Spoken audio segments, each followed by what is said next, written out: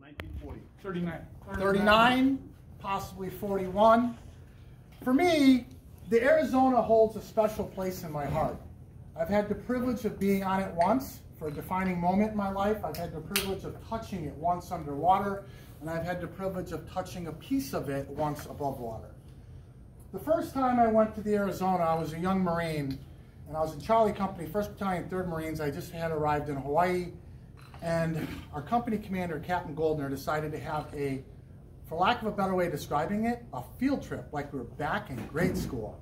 So we put on our little Charlie uniforms and we got on buses, literally school buses, and we were off across the island and we arrived at the museum and eventually the little boats took us across Ford Island to um, the actual Arizona. And now I understand there's a bridge there, so there's no little boat ride off to the Arizona. And we got on the Arizona, you, you, enter on one side and you go through the memorial and it goes down, it comes up, and on the far end you have all the names of all the sailors who are interned still to this day aboard the ship. It is a sealed tomb. And off to the one side are all the Marines, all my fellow Marines that unfortunately went into service and did not make it home. About half an hour of us being there, all of a sudden a whole bunch of local Japanese tourists arrived. And they were laughing and they were smoking and joking. They were having a good old time.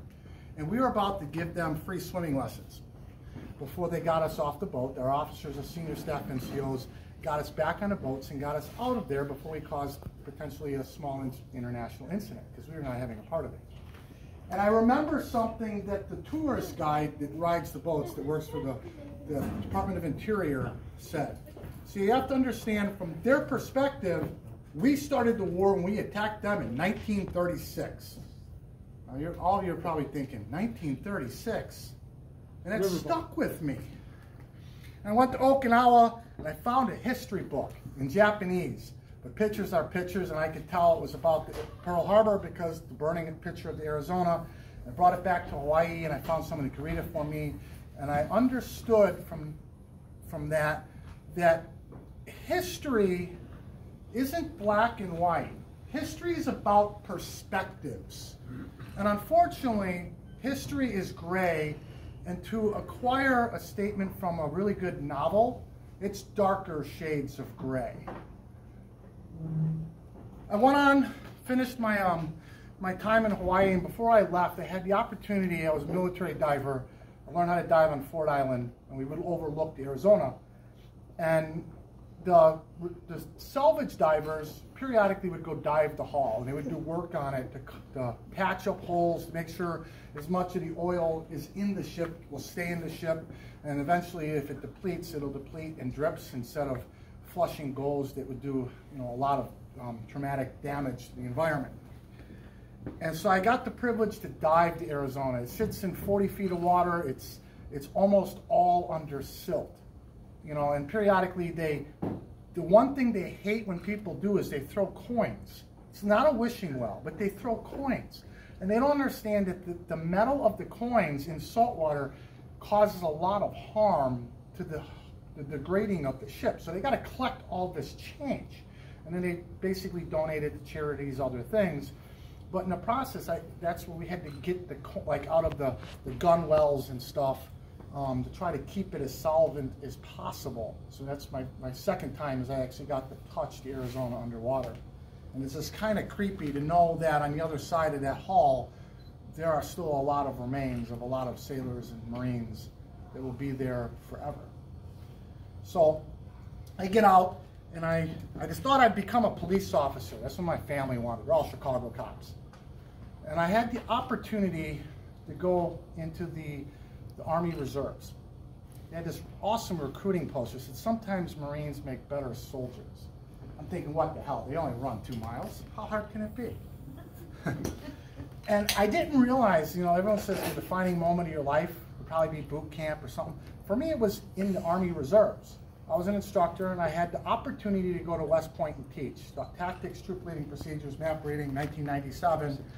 I came home and I told my dad, I had the wrong degree. I didn't want to be a police officer. That's what they wanted me to be, and I was going to go get a degree in history.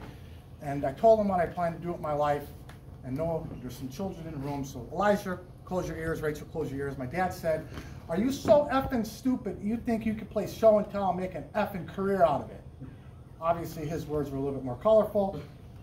And um, I laid out my business, historic military impressions, the exhibits we do. It's to honor the past by educating the future. And I, I take that mission very seriously. My son Elijah helps me. My daughter Rachel is about to start helping me. We have met seven Medal of Honor recipients. We have met Tuskegee Airmen. We have met some of the most uncommon people you could ever imagine. We met gentlemen who they gave the 203 gentleman in Vietnam who's a boot three days in country. There was some movement on the other side of a bush. He shot the 203 through the bush and stuck a guy right in the gut. He hit him right, and he had a live grenade in his hip. And I remember he's telling me this story, and he's talking about how he, I don't understand why they were so paranoid, why they had a helicopter come in separate and later on and all the concerns. And I said, you be thankful that he didn't roll around. And I explained to him what that meant. And that, and at this point, like 20, 30, 40 years later, he's like, good God, I could have died. He, didn't realize it at that moment. So I like to be the, the keeper of stories. Ultimately, that's what it means to be a historian. We keep other people's stories for the next generation. So when we came up with this contest, um, I think the essay question idea, Desmond brought it up, and I thought it was an awesome idea, and I pushed the essay question. Why is it important for America to remember events like Pearl Harbor and the sacrifice of citizens like Paul Herrick? It's a loaded question. Because I'll tell you as a historian, history is the most important subject that is taught in school. That is not a core subject. You have reading, writing, and math. And after that, history is the most critical subject that is absolutely dismissed. And it's critically important. We have social studies, and social studies is not history. Today, we live in an environment where we're repackaging extremely bad ideas and giving them new names. And we think we'll get a different result. We forget that when the Dred Scott decision was passed, freed slaves thought it was a great idea to be separate but equal. And they heralded it as we'll go off and make our own little communities. And because we don't want to deal with the people who once called us property and we want to be by ourselves. And we saw where it went. And we had a, a young radical lawyer went and met another young radical preacher while he was in jail in Memphis and said, you know, Martin, the way you're doing it is all wrong. You use the law to defeat the law. That lawyer was Thurgood Thomas. He became the first African American justice on the Supreme Court. And he successfully used Roe, or excuse me, the Dred Scott decision to defeat the Dred Scott decision. And he argued that we cannot be separate and equal, that we are united in the common purpose. In the words of um, Frederick Douglass, the young Frederick Douglass once said the Constitution was the most racist document ever created, and it was about keeping slaves. A wiser, more knowledgeable Frederick Douglass at the dedication of the Emancipation Monument in Washington, D.C. said the Constitution of the United States was the most brilliant form of government ever created by man. The problem with the Constitution is that we lack citizens that are capable of living up to its expectations. Yeah. So we need to remind ourselves that sacrifice of people like Paul Herrick or some of the Tuskegee airmen that I met that had to like at night go to other units and steal parts off of other airplanes to keep those birds flying are examples of men and women who were courageous enough to live up to the expectations of the Constitution. Because ultimately, at the end of it, if we forget where our past is, if we forget to honor the past, we give up power over our future. And today we have young Americans talking about wanting separate dorms and wanting separate this and somehow thinking they'll get a different result. When we've tried this experiment and has failed more than one time in human history. So for me and for my family, the exhibits that we do are tried to remind people to ultimately we have power over the future only if we have a good understanding of our past. Yeah, 10 whole minutes, right on time. Thank you. If you have any questions on my exhibit, please uh, ask. You have any questions on me, now's the time. If not, 1936. 1936. You don't know what happened in 1936? 1936, the Japanese government invaded China. China was called the, inc- the incident. The, the Japanese medal is called the incident medal. It was an incident. But we put a tariff on, on Japan.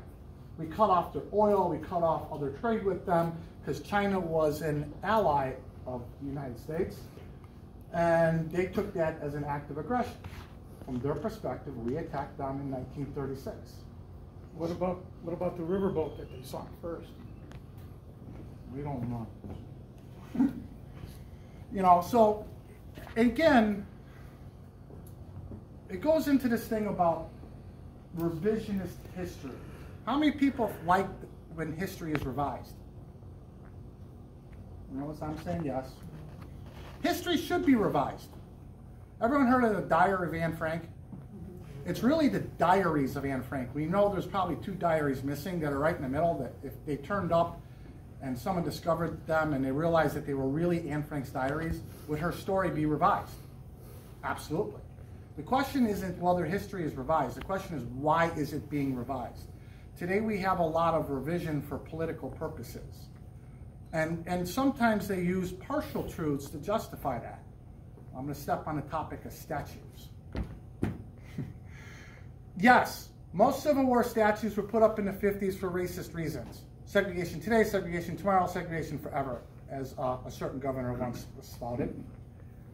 However, today segregation is over. The governor got thrown out of office, and the policies have been put to rest because we had Americans that chose to live to a higher standard. So those statues also remind us that we have a, as a people have the ability to overcome the policies, the bad policies of government. And we're losing that too. We should remember we were a slave nation because the work isn't done yet. But that doesn't mean we bear the sins of ancestors we may not have known. I mean, I, I came to the United States because my ancestors wanted to avoid Nazism and persecution from that. So to tell me that somehow I'm responsible for something people did before any of my ancestors got here is kind of ludicrous. But that's the threat that we face today. Anything else? Carl, Yes. Yeah, I have one complaint, not a complaint, but I'm wondering where you with the social studies not being taught with history in mind, because it is. I taught social studies, and for me, you always fall back, if you teach social studies the right way, Yes. it's always about history and timelines and, But is social studies the way you taught it when you taught the same as social studies today? well, I don't know, I thought I've, I've been retired for twenty-five years, or twenty-one years. so I I am know. actually a social studies teacher, sixth mm-hmm. grade. and Okay. And basically, uh, when it comes to history, um, it is something that is taught uh, a couple of years during uh, elementary school, where you Mhm. get the uh, where you get from the uh, Native Americans to the Civil War, and then from Reconstruction to the present. Mm-hmm. And then you will get that again between eighth and ninth grade, and then you have your advanced classes um, on that and stuff. Now, other than that, I'm talking American history, but you'll also get into medieval times and so on. Um, in sixth grade, I teach geography, so where things are and why we why we do things there. But I agree with what you're saying is, is that there's nothing that's dedicated purely to history, Mm-hmm. um, to where social studies is something much more broad Yes. and stuff. And uh, um, what what many what many schools, what my school is, I actually teach at Lincoln, where we will take uh, we will take history lessons and stuff, and they and they and they make great cause and effect and uh, and uh, persuasive essays based off of history, and we'll use it in an English class or or uh, or something like that to be able to go what they call across the curriculum and Mhm. stuff. But uh, um, yeah, um, it, it is something that is uh, social studies is so broad. There isn't anything that's like like you would uh, like like it was just hey I, I'm taking history and stuff. There's there's many other things. And kind of like of science things- where there's life science, earth science, and so on. I taught the sixth grade for twenty-eight years, and then went to fifth grade. And I know the sixth grade, they, they only handled Civil War part for a brief amount of time, was at the end. It all depends on the individual. There's a lot of, you know, I'm not trying to take anything against the teacher, but no. there are good teachers, there are bad teachers, it all depends on the criteria. But we, we are losing, over time, things are changing. I, I once met a gentleman, he was a, a medic in Patton's Third Army. And they came across the first concentration camps, or, and um, he had to stop American soldiers from feeding the inmates, for lack of a better way of putting it. And they were told to go get cameras, go into town, find cameras, steal film, don't care. And they brought it back, and he's like, start taking pictures. And he had seven rolls of film. And at the end, he's like, he took the film, he walked up to his captain, he set him on a table. And the captain took four and he gave him back three. He said, we'll tell you what to do with those later.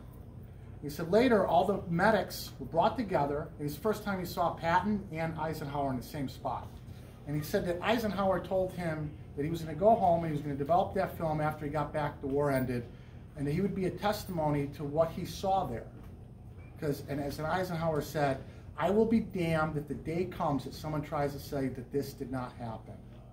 And today there are people in the world who try to say the Holocaust did not happen.